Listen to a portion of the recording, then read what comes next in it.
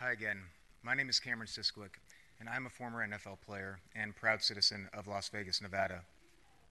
I realize that you may have been taken back by some of my comments and asking yourselves, what does CTE and concussions have to do with the stadium in Las Vegas?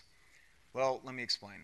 You see, if we are going to build the most expensive publicly subsidized stadium in U.S. history, we should probably do our best to make sure we are not building a cathedral for a team that is inevitably going to be on strike.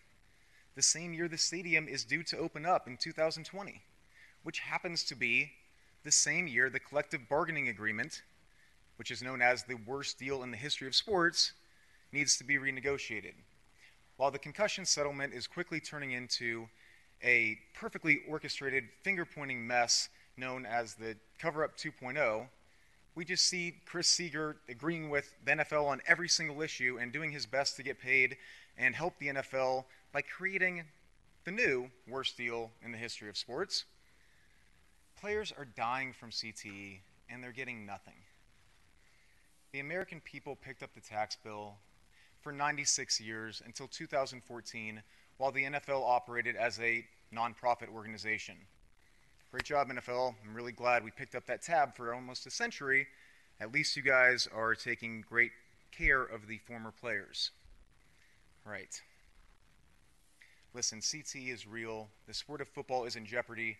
And while it should be the NFL who picks up the tab, Mark Davis, I hope you realize the first owner to fund independent studies will literally add millions of fans from LA, Oakland, San Diego, and right here in your new tax free sports gambling capital of the world, Las Vegas. The first owner to act will increase their, evalu- their team's evaluation exponentially over the next few decades. We are very close to finding a cure that can save the sport and can help our country by saving millions of veterans and concussion vi- victims alike that go misdiagnosed with CTE. People are really suffering we are close to a cure, and we're simply asking for help. Thank you. Thank you. Any other members of the public?